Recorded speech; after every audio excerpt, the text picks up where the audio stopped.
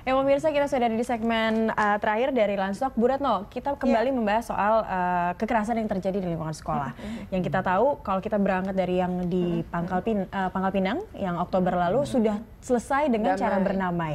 Tapi sebenarnya bagaimana KPAI sendiri melihat jika ada kekerasan uh, di lingkungan sekolah yang terjadi guru versus siswa atau sebaliknya seharusnya diselesaikan dengan yeah. damai kah atau ya sudah lewat jalur hukum saja? Pertama kalau memang damai itu adalah satu pilihan ya hmm. sebenarnya tidak bisa dipaksakan juga ya. Hmm. Tapi kalau damai antara murid dengan murid kami mendukung. Okay. Jadi misalnya pelaku kekerasannya adalah sesama murid. Mm -hmm. Nah, dalam hal ini pembinaan kan harus dilakukan pada kedua belah pihak dan tentu harus ada konsekuensi yang diterima mm -hmm. oleh pelaku uh, ya, kemudian ada upaya untuk melindungi korban. Nah, terkait itu mungkin masih bisa diterima yeah. karena dalam undang-undang uh, dalam sistem uh, apa undang-undang sistem peradilan pidana anak pun penyelesaian itu diutamakan di versi atau di luar pengadilan.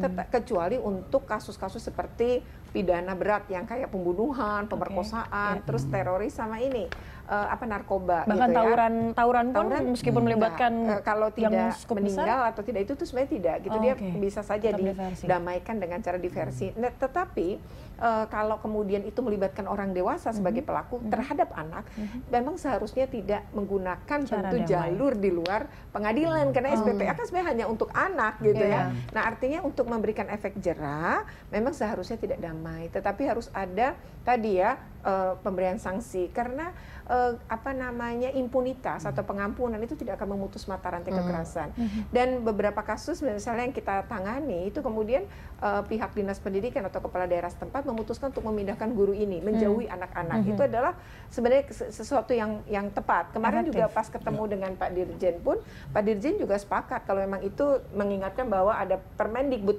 82 yang hmm. bisa dicabut loh tunjangan uh, profesinya. Hmm. Kemudian yang kedua juga bisa saja kemudian secara kepegawaian itu kemudian terkena PP 53 ya Pak hmm. 2010. Hmm. Jadi sebenarnya kalau guru itu PNS udah ada tuh aturannya. Kalau guru itu non PNS pun juga ada aturannya. Baik. Tetapi uh, tadi ya penyelesaian dalam arti kata pelaku-pelaku kekerasan orang dewasa terhadap anak di lingkungan pendidikan terutama menurut saya seharusnya tidak dengan cara damai dengan... tetapi diproses. Baik. Okay. Ini Bu Retno Ada sudah kasih input juga. Pak Daryanto bahwa ya. seharusnya diproses begitu. Lalu hmm. sanksi apa yang akan dilakukan oleh Kemendikbud sendiri ya. jika terbukti bahwa ini guru ya. dan jika tidak terbukti ini guru tapi hmm. keamanan dan ketertiban sekolah juga tidak terjaga hmm. gitu. Ya.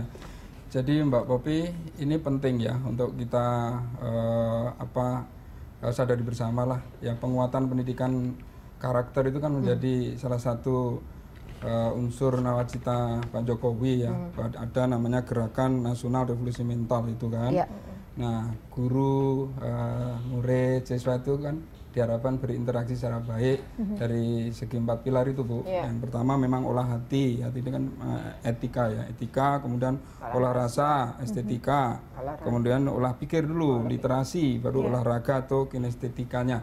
Nah untuk menyimbangkan ini kan kita tidak boleh juga uh, apa masing-masing por porsinya tuh 25 persen, 25 persen kan tidak seperti ya, itu. Mm-hmm. Nah ya, ya, ya. ini uh, kombinasi seperti ini, nah ini ahlinya para guru sudah okay. punya ilmunya lah begitu. Nah terhadap uh, penyelesaian masalah tadi saya uh, me melihat ya dan mendengar Bu Retno tadi ya memang harus seperti itu. Mm -hmm. Yang intinya ya penegakan hukum itu harus dilakukan.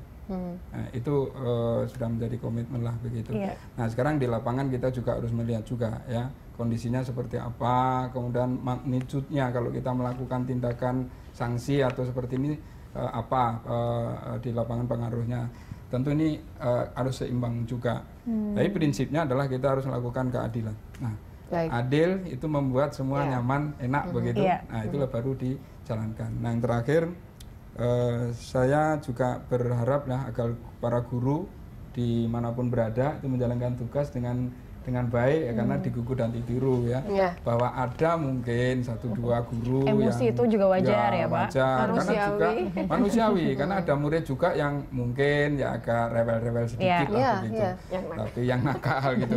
Tapi ya kita mesti sabar juga sebagai uh, pendidik guru. Nah, sebagai orang tua yang ada di lingkungan ya, orang tua juga demikian lah longgar hati lah intinya okay. begitu saya kok yakin lah di Indonesia ini uh, yang baik-baiknya tuh lebih banyak lah gitu mm -hmm. dengan ya, yang ya. kurangnya. Baik, gitu. oke ini semua ada sebab dan akibat mm -hmm. ya, dan ini merupakan PR semua baik orang tua, masyarakat dan juga uh, kementerian uh, terkait ya untuk hal ini. Jadi semuanya harus juga bersumber dari keluarga. Ya pemirsa demikianlah dialog Lunch Talk hari ini. Anda juga bisa mengirimkan informasi dan saran pada kami melalui email di redaksi @berita1.tv atau follow kami via Twitter, Facebook, YouTube dan Instagram. Nantikan Lunch Talk setiap hari pukul 13 sampai 14 waktu Indonesia Barat. Terima kasih. Sampai, jumpa.